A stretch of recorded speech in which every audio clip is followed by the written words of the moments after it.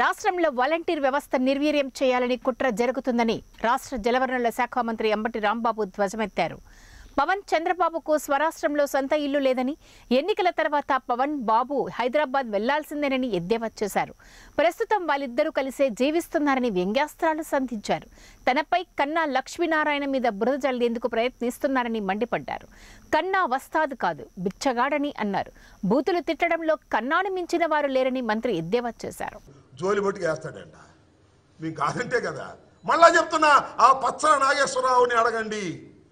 నేను రెస్పాండ్ కాలేదంటే అప్పుడు సమాధానం చెప్తా. ముందు నీ పక్కన తిరిగి తెలుగుదేశం వాళ్ళని అడుగుమని మనం చేస్తున్నాం. కాబట్టి ఊరినే ఏదో దొరికింది కదా అని చెప్పేసి ఇష్టం వచ్చినట్టు మాట్లాడితే అది ధర్మం కాదు. ఇంకా అర్థమైనట్లేదు ఇంకా. సత్యనపల్లి సత్యనపల్లి వ్యవహారం సత్యనపల్లి రోడ్లు సత్యనపల్లి పోలీసులు సత్యనపల్లి కార్యకర్తలు సత్యనపల్లి పౌరులు ఇంకా ఆయనకు అర్థమైనట్లేదు. ఏదో పిచ్చి పిచ్చిగా మాట్లాడతారు ఆయనకు అంతా ఏంటంటే నా మీద బురజాలి నా మీద బురజాలి బురజలు ఏదో లబ్ధి పొందాలనుకుంటున్నాడు. ఇంపాసిబుల్ నా మీద బురజలటం నీ వల్ల కాదు. ఆ చంద్రబాబు వల్ల కూడా కాదు. మరి మాట్లాడితే ఆ పవన్ కళ్యాణ్ వల్ల కూడా కాదు. నేను చాలా స్వచ్ఛంగా ధర్మంగా పరిపాలన చేసేందుకు ప్రయత్నాలు చేస్తున్నా అక్కడ ఇక్కడ పొరపాటు జరిగితే జరగవచ్చు. తెలియకో తెలియకో వాటిని సరి చేసుకుని ముందుకు వెళ్ళేటటువంటి వ్యక్తులమే తప్ప నీలాగా ఇష్టం వచ్చినట్టు ఆ పార్టీ ఈ పార్టీ మారి బిచ్చాలు ఎత్తుకునే పరిస్థితి మాకు లేదనే విషయాన్ని గమనించమని ఈ సందర్భంగా చెప్పదలుచుకున్నాం. ఓట్లు వేయడానికి మేము నిర్ణయించిన తర్వాత అది తెలుసుకొని మాట్లాడుతున్నాం. ఏంది నువ్వు నాకు అర్థంగా నా మీద బురద నీ ఉద్దేశం అంతేగా?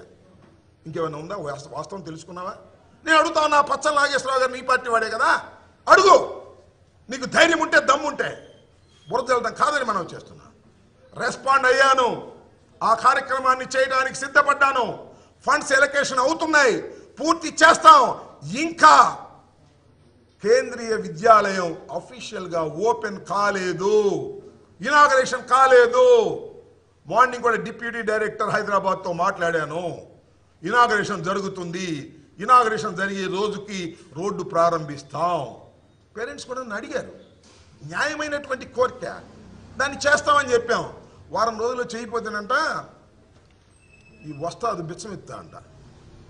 ఇక్కడ సత్యనపల్లి రోడ్డులో ఓ నీ దుంప అదేగా? ఆ చంద్రబాబు ఏదో నువ్వు వస్తాదు అని ఇక్కడ ఏదో కుస్తీ పడతావని కుస్తీ బట్టి ఆయనకి ఏదో సీటు తెస్తావని పంపిస్తే నువ్వు బిచ్చం ఎత్తానికి బయలుదేరావే నాకు అర్థం కదా? వస్తాదు